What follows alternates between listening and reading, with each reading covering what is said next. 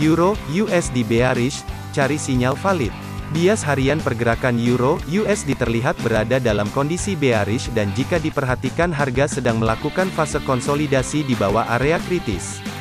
Jika pergerakan euro USD tertahan di sekitar area kritis pada kisaran 1,13155 sampai 1,13323 maka tunggu kemunculan bentuk pola candlestick bearish yang valid dengan memperhatikan juga indikator ADX bergerak ke atas maka ada potensi harga akan menyentuh area 1.12891. Sebaliknya waspadai jika harga euro USD terus bergerak ke atas dan menembus level 1.13323 maka ada potensi harga akan berbalik arah dengan bergerak bullish ke atas menuju level berikutnya pada kisaran 1.13590.